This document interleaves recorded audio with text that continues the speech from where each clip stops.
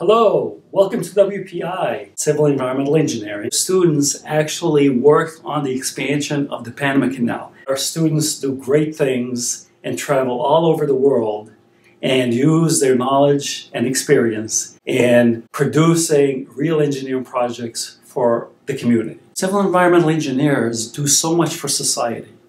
We actually build the infrastructure, design and build the infrastructure that makes our cities and our whole economy work. Our students are engaged in a project based education. It is a wonderful learning approach. They learn skills that would benefit their engineering knowledge. They learn how to work in teams. They learn how to do, do independent research.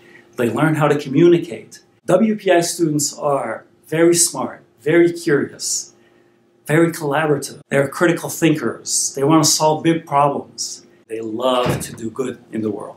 Our students actually helped design and build a net zero solar powered house. We built one here at WPI, took it apart, transported it to China, and rebuilt it in Datong, China.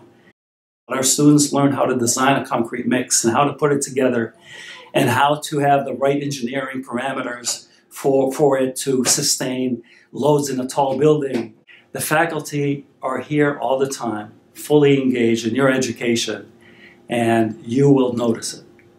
We're going to, in one fluid motion, you're going to pick it up, flip the cone upside down, and set it to the side, away Okay. from the pile of whatever you want to call it. Okay. So another opportunity for our students is that they're able to actually do, do their MQPs and co-ops at companies.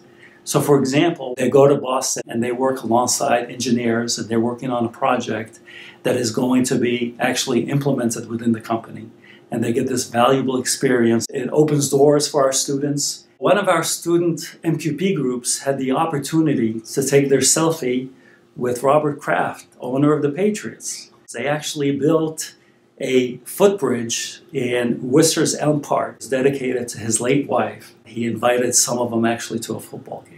So these are all things that you will learn as a civil engineer at WPI. And I think if you come to WPI, you will have a wonderful time and it'll be a life changing experience.